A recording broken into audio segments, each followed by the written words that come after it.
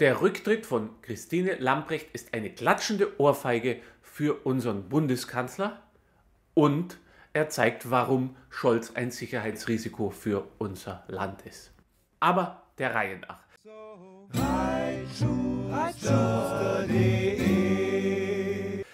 Keine Ministerin hat sich je so regulär, so regelmäßig, so massiv blamiert wie unsere Verteidigungsministerin. Ministerin.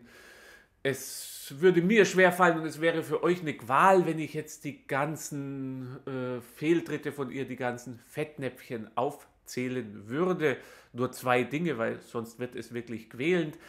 Nach ihrem Amtsantritt musste sie in einem Interview bekennen, dass sie nicht die Dienstgrade bei der Bundeswehr kennt. Und wer weiß, wie wichtig Dienstgrade bei einem Heer sind, bei, beim Militär, der kann da nur den Kopf schütteln und man könnte sich das ja vor der Vereidigung mal kurz anschauen, damit man auch ernst genommen wird. Dann von der Truppe hat sie nicht gemacht.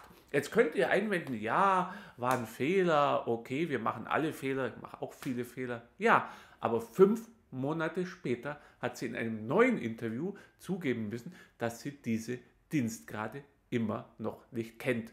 Ist in etwa so, wie wenn ein Zahnarzt einen Bohrer nicht von der Füllspachtel unterscheiden kann. Das ist ungeheuerlich und es ist eigentlich eine Ohrfeige für die Bundeswehr. Und wie sollten die Soldaten und Offiziere sie respektieren, wenn sie selbst so eine Mindestanforderung nicht erfüllte?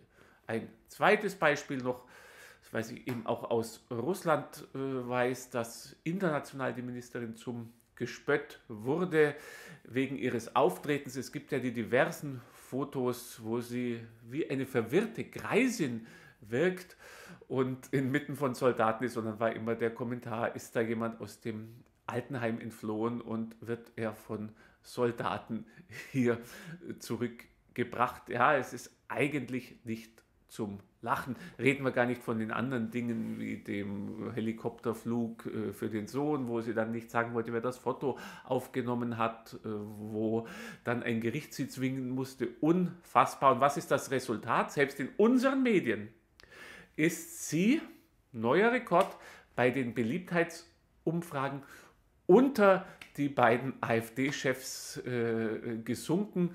Und das, obwohl die ja das meist Hetzpotenzial bei den Medien haben, also obwohl gegen die täglich gehetzt wird, während die SPD die Meistbegünstigungsklausel hat und sogar Medien selber besitzt, mitbesitzt, wie das Redaktionsnetzwerk Deutschland, Dutzende Zeitungen, die quasi von der SPD mit Artikeln gefüttert werden, wo die Leser das oft überhaupt nicht wissen.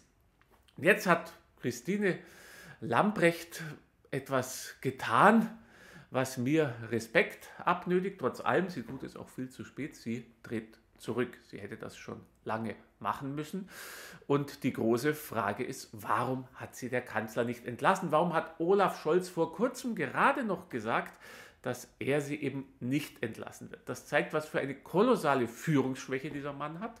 Er ist nicht in der Lage zu führen. Das zeigt, dass es nur um Parteiproports geht, nur um Geschlecht, wie jetzt in Thüringen, wo diese Sachbearbeiterin wegen richtiger Hautfarbe, richtigem Geschlecht und richtigen Parteibuch, obwohl sie erst ganz kurz bei den Grünen ist, Justizministerin wurde. Phänomenal.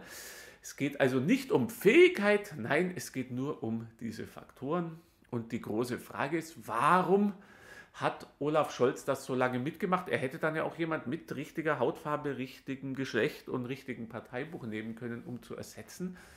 Und wie gesagt, die Pfeifen, die, die Spatzen pfeifen, die pfeifen auch, aber die Spatzen habe ich hier gemeint, die pfeifen es von den Dächern, dass Olaf Scholz wegen seiner ganzen Affären, Cum-Ex, 200.000 Euro bei Kars im Schließfach seines engen Vertrauten, woher, bei äh, der Wirecard-Affäre, wo der Hauptverdächtige in Russland sitzt, dass Olaf Scholz erpressbar ist und der Umgang mit der Christine Lambrecht in meinen Augen äh, nährt der diesen Verdacht. Und deshalb muss man ganz klar sagen, Olaf Scholz ist ein Sicherheitsrisiko für Deutschland. Das ist traurig, aber das ist leider so und da kann man nicht drum rum reden. Ja, so ist es jetzt geht Frau Lamprecht, Gott sei Dank, aber sie musste selber diese Entscheidung treffen, weil es der Kanzler nicht konnte. Es ist nur noch absurd, wenn man das Freunden im Ausland erzählt, die schütteln nur noch den Kopf. Jetzt bin ich gespannt, ob Video, ob YouTube auch dieses Video demonetarisiert. Normalerweise kommt bei meinem Video sofort zur Werbung nicht geeignet, während wenn es Unterstützer hochladen, dann ist es merkwürdigerweise zur Werbung geeignet. Also äh, spannend, auch wieder enorme Wettbewerbsverzerrung, Benachteiligung, aber die rechnen nicht mit meinen Lesern, weil ich weiß, die kompensieren das äh, durch ihre Unterstützung. Es ist absurd, aber das sind ja noch die geringsten äh, Schikanen, wenn man es vergleicht mit allem anderen, zum Beispiel bei Facebook, dass man da immer noch gesperrt wird, wenn irgendetwas ist. Oder jetzt musste ich wieder mein Bankkonto aufgeben, weil die Bank gekündigt hatte. Jetzt wurde das äh, wirksam. Jetzt gehen wir die ganzen Seitenpatenschaften und viele Unterstützung ins Leere. Gruselig. Ich verlinke unten nochmal den Artikel und die aktuellen Daten. Sorry, dass ich euch damit behelligen muss. Ich würde es wirklich lieber nicht tun. Aber ja, was bleibt einem übrig? Danke, dass ihr reingeschaut habt. Schaut wieder rein. Voraussichtlich morgen bringe ich den zweiten Teil vom Sarrazin-Interview. Unglaublich spannend. Hat mich viel gelehrt. Für mich viele neue Erkenntnisse. Da schreibe ich auch nochmal einen Artikel äh, dazu. Für mich längerfristig sogar weitaus lehrreicher als der erste Teil des Saracens Interview. Also bitte wieder reinschauen. Äh, klicken hier das Like, weil das bringt die Algorithmen auf Trab, die werden auch runtergebremst. Die Glocke für die Abos, wer einen Kommentar da lässt, dem bin ich besonders dankbar. Und hier immer daran denken, nur tote Fische schwimmen mit dem Strom. Alles Gute, danke, ciao.